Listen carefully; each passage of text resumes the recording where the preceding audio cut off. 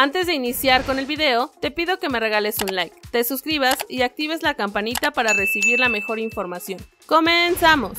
Tijuana contra Santos Apertura 2022, cuando juegan, alineaciones y dónde verlo. La jornada 11 de la Liga MX tendrá que esperar un poco para que se reanude. Y es que a media semana, algunos equipos jugarán sus respectivos encuentros correspondientes a la fecha 16 de este Apertura 2022, por lo que se adelantaron debido a que podían coincidir con partidos de selecciones, fuese fecha FIFA. Algunos compromisos de la jornada 16 ya se jugaron, pero solamente quedan unos pendientes que se llevarán a cabo a media semana. Uno de ellos es el Tijuana vs Santos, en lo que pinta para ser uno de los encuentros más parejos de estos días debido a que ambos llegan en buen momento. El choque entre los fronterizos y los de Torreón será este jueves 25 de agosto del 2022 a las 9 y 5 horas, tiempo del centro de la Ciudad de México. Será el segundo y último encuentro de los dos que se tienen programados para ese día. Sumado a eso, es el quinto encuentro de esta semana, por lo que será el encargado de cerrar las acciones de la fecha 16, aunque solamente faltaría el encuentro del Necaxa contra Mazatlán. El partido se llevará a cabo en la cancha del Estadio Caliente, casa de los solos. Los dirigidos por Ricardo Baliño vienen de sufrir una derrota dolorosa en su visita al Querétaro, pues se convirtieron en el primer equipo en perder un duelo frente a los Gallos Blancos. Por su parte, los de Eduardo Fentanes vienen de conseguir una goleada histórica en su visita a los Pumas de la UNAM. Aquellas personas que no quieran o no puedan asistir al Mictlán para ver el Solos contra Santos, podrá seguir las acciones a través de la señal de Fox Sports. Posibles alineaciones. Tijuana empezaría con Jonathan Orozco en la portería, Ismael Gobea, Isandro López, Víctor Guzmán y Nicolás Díaz en la defensa